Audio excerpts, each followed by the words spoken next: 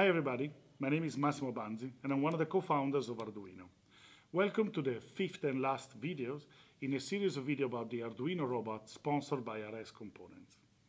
In this video, David Cuartielles and Xun Yang are going to explain to you how to uh, use the screen that you can see on the Arduino robot and how to make music with the Arduino robot. So this is going to be a fun episode and I'm sure you're going to enjoy it. So I leave it to you, David. Hello and welcome to our fifth video on the series on how to use the Arduino robot. Today we're going to explore two extra features that come with the robot thanks to it carrying a TFT screen and sound speaker. Today we're going to see how to show images on the screen and how to play sound. We'll start by Xun explaining you how to play sound with the robot. Xun? So the robot is a very powerful platform for playing 8-bit uh, music actually, thanks to our friend uh, David Taylor uh, and uh, his uh, Squawk library. And we even commissioned three uh, different music from local artists, which will be appearing in the robot examples.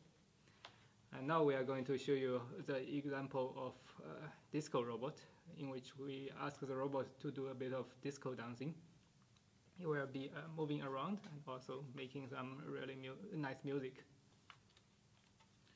So I just open the example on the IDE where Xun plugs in the cable. I'm going to just briefly explain you how it works. So as usual, we have to load the Arduino robot library and the robot is programmed to make different turns. It either stops, turns left and right, or forwards or backwards as it's playing music. The dance script is stored as a string, as you see up here that it ends with a zero marker. And it has three songs. One is called Melody, the second one is called Menu, and the final one is called Chase. We have these three songs because in the different uh, examples for the Arduino robot, we basically run three different types of activities. We either are navigating a menu, like in the Hello User example, we are uh, having the official song for the robot, which is called melody, and finally we might be following a line, looking for an object, etc., and then we use a chase melody you can create your own music using a tracker software. So let's just upload this program to the robot. And it will start playing music directly.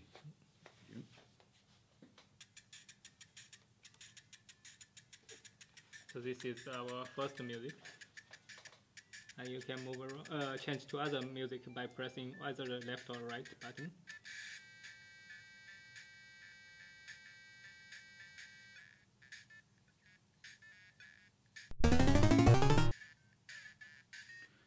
We're using a very powerful software library that allows to play four different sound lines at the same time on a single digital pin. You can of course use this library in other places.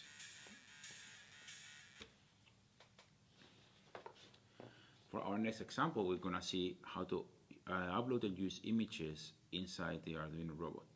You can store images inside the SD card on the robot. This SD card can carry different images as well as sound files like the one we just uh, were experimenting with.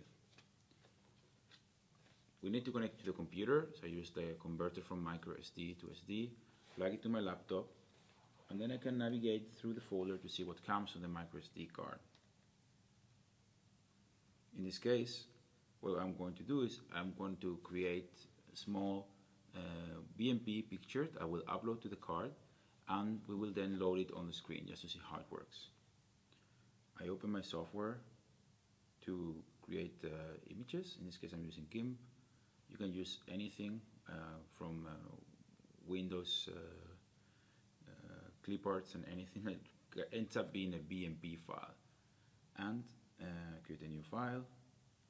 Our files are 128 pixels, that's 160 pixels, and with a color resolution of 24 bits and there you go. I edit my picture and will end up having, in this case, RS logotype that I'm going to show on the robot screen. I just need to export it as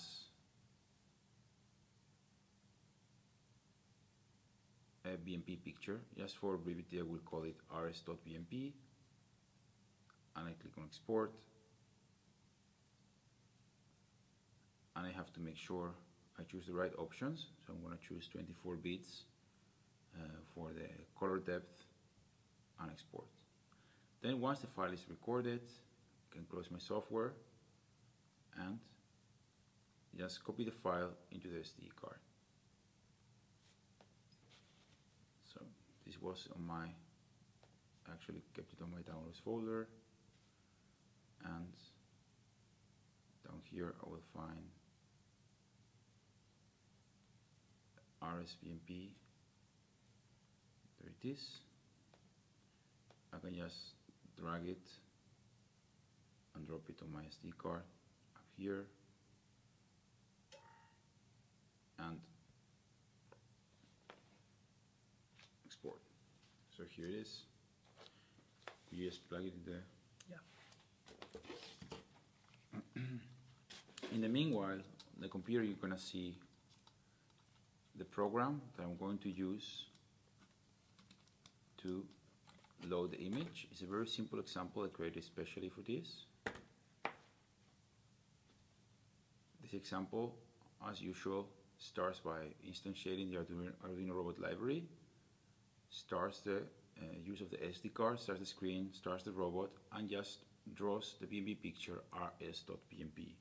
It's gonna be very simple.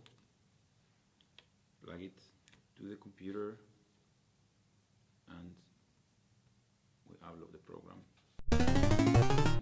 You can see now, you can see how we just took the same image that we had in our computer and we are showing it on the robot screen. So Xun actually made a really good example that is making use of the compass to navigate through pictures. So I will just upload it to the robot and let Xun explain you how this works. Our example called Picture Browser. So basically, this is a photo gallery software that uh, you can uh, control with uh, two different ways. One is just using the left and right button. Another is uh, actually you can uh, switch to the next photo by shaking the robot or tilting it. So you can see a few images that's uh, stored in the micro SD card. And if you click the uh, up button, it changes to the different control mode. And then if you tilt it really quick. So in today's episode, we showed you how to display images and play 8-bit music by uh, having the files stored in a micro SD card, which can be accessed through the micro SD reader that's on the TFT screen. This was our last episode on the Arduino Robot series, shot for you by RS Electronics at Fabriken in Malmo. Thanks for watching. Thank you. Okay, that was great. And so this is the last video in the series. I hope you enjoyed it. Thank you, David. Thank you, Xun, for the work you have done in this series. And thank you, RS Components, for sponsoring the videos. So please let us know in the comments what you like, what you didn't like, what you've learned. Post videos of your robots doing different things you program them to do. And let us know how much you enjoyed the robot and playing with it. Thank you.